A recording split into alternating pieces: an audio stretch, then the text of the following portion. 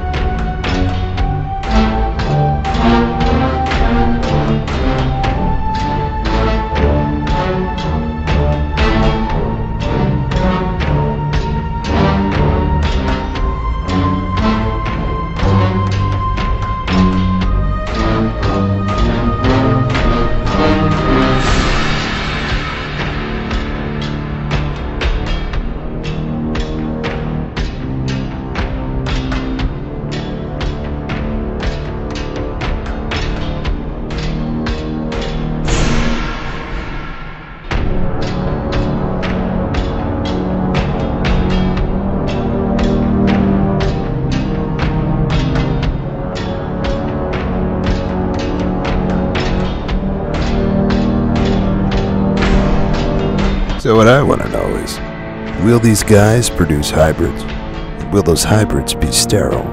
Subscribe to find out.